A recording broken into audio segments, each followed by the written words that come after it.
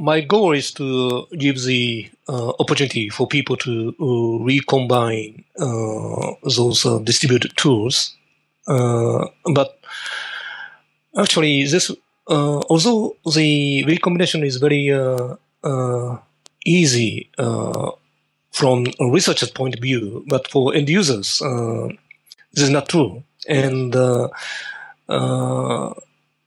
situation is same as the uh, playing with uh, Lego blocks. Yeah.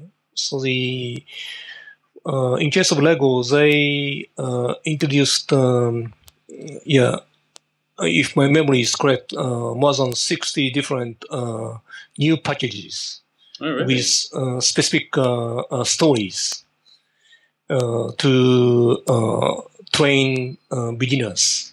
Mm-hmm. Yeah. So uh, by uh, playing with those uh, new packages, they new beginners will gradually learn how to play with, and then after certain levels of skills, they will purchase the generic uh, uh, uh, blocks without any specific shapes.